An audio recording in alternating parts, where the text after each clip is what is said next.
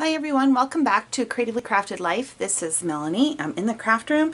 I have another budget-friendly crafting haul. This time it's from Hobby Lobby. And Hobby Lobby's, um, at the time that I'm recording this, um, it's the beginning of March. So basically for the month of February, they put a lot of their crafting products on clearance. And I went a couple times. This is just the, the most recent one with the stuff that I picked up. And the point of this is not so much that you can go out and get these particular items because again they are on clearance but stores like Michael's and Hobby Lobby or Joann's like just watch when they have sales because um, when they do that's when you really want to go in and capitalize. So everything here was on sale except for um, these four items. So let's talk about these four first of all and then um, we'll go through the rest of the goodies. So in my must-haves video, I talked about sequins and how that you could possibly get them from somewhere else. And here's an example. This was regular price. It was $1.99. Look at how many sequins you get. Like compared to Pretty Pink Posh, this is even more, right? So these are uh, holographic. Again, somewhat neutral, so you can use on any sort of um, project um, this, it's not, not specific, right, in any sort of color scheme. You can use a 40% off coupon with something like this, right? So if, even if you only go in um, to buy one item, uh, you could use 40% and then it would be even more budget friendly. These three items I also bought full price. Um, well, actually I used a 40% coupon on one of them because I really like them. and I just didn't want to go back again because I figured I'd probably save more money by buying them now than going back four times and using a 40% off coupon, but that's just me. Um, these are foam stamps. They're regular price $2.99 and they're large, right? Like if you look at the size of my hand, they're really large. So this will fill a card front really easily. What I like about foam stamps is they work really great with um, acrylic paint. So um, that is something to keep in mind. Um, they work with ink as well, so I'm not sure how well they will work with the markers, so we'll give that a try and see how that works out. So anyways, I bought four of them. This butterfly, the feathers, this floral image, and then this stars. Again, fairly generic shapes that I can use for multiple occasions and multiple purposes. Okay, so let's get into the little goodies that I found at clearance price. So these fish, fishy foam things, 74 cents for the entire pack. They look like they're self-adhesive. Um, I think these will make some really cute um, cards. You just do like a watercolor wash background and add a couple of the fish and a sentiment and you're good to go. Also found some of these foam stamps. They're on, um, they're all attached, but you can break them apart. They were each 25 cents. This one kind of has a boyish theme or a travel theme. And then this one uh, is a more aquatic or sea life type one. So 25 cents each for those. There was also a bigger set for 75 and this was more of a border slash um, floral. I think these will also work really well if you get into um, stamp printing like jelly pressing, jelly press, using a jelly press plate. So that was another reason why um, I thought this would be something I could use and, a, you know, 75 cents.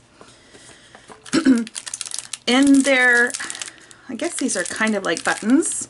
Uh, what do they call them? Knickknacks, 75 cents. These are Christmas ornaments. So again, I thought either for Christmas scrapbook pages or even on a card. It looks like you get uh, probably about six six or seven pieces maybe. Oh, eight pieces.